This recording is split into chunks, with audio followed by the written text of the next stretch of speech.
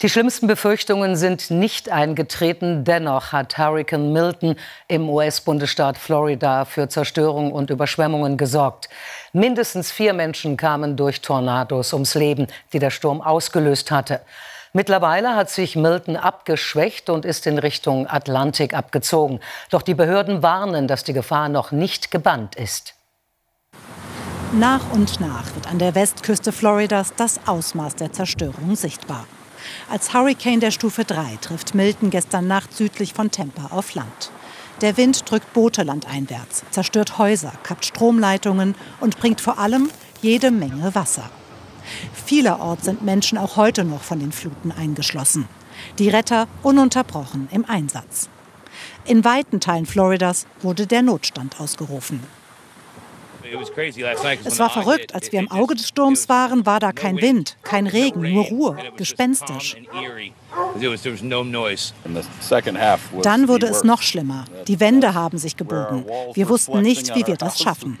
Ich bin nur froh, dass wir raus sind in Sicherheit.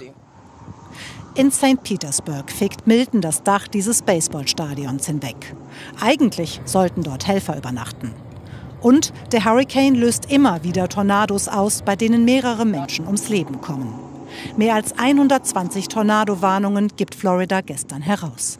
Und dennoch, sagt Floridas Gouverneur, die befürchtete Katastrophe ist ausgeblieben. Dieser Sturm war heftig, aber zum Glück ist das schlimmste Szenario nicht eingetroffen. Der Sturm ist abgeschwächt, bevor er auf Land traf. Und die Sturmflut war nicht so hoch wie zuvor bei Hurricane Helene. Erst vor zwei Wochen war Helene hier durchgezogen. Milton bringt erneut Wind und Wasser, lässt Stromtransformatoren explodieren. Noch immer sind mehr als drei Millionen Menschen ohne Strom, viele ohne Trinkwasser. Weil wir uns auf das Schlimmste vorbereitet hatten, können wir nun so schnell reagieren. Die größten Schäden haben die Tornados angerichtet.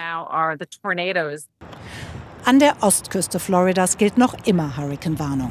Auch die Gefahr durch Tornados noch nicht gebannt.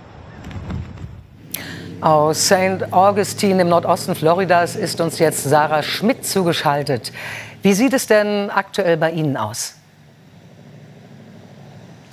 Ja, ich stehe nördlich von den Gebieten, wo diese Tornados gewütet haben und wo Menschen gestorben sind. Und hier ist die Lage noch etwas angespannt. Das sagte mir die Polizei, die hier hinter mir steht und die gerade diese Straße absperrt. Denn hier kommt jetzt langsam das Wasser.